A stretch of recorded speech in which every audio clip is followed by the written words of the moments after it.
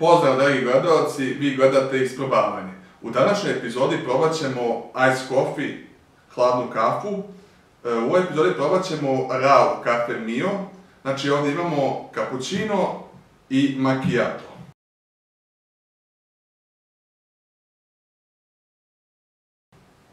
Prvo ćemo probati cappuccino.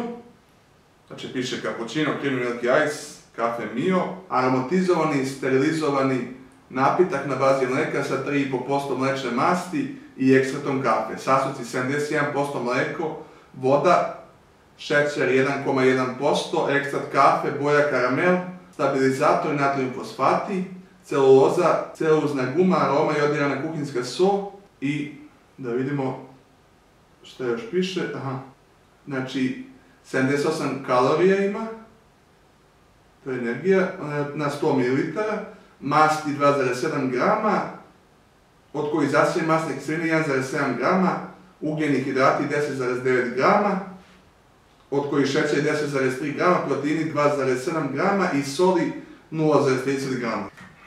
Pa da probamo.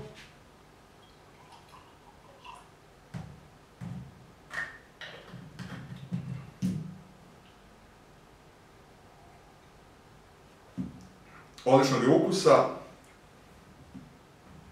prava kafa, liči na cappuccino, na hladni cappuccino. A sad ćemo probati kafe Mio Macchiato, aromatizovani sterilizovani napitak na bazi mlijeka sa 2,5% mlečne masti i ekstraktom kafe, proizveden prema proizvođačkoj specifikaciji, sastojci 75% mlijeko, voda, šećer 1,2%, ekstrakt kafe, boja karamel, stabilizatori natrium fosfati, celuloza, celulozna guma, aroma kuhinska so i to je to.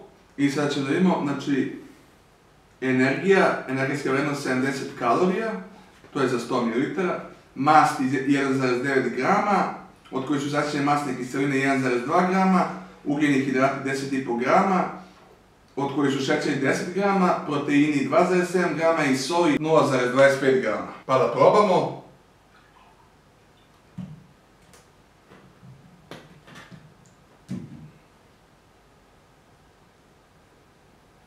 Odlična kafa, kao pravi macchiato, samo hladni.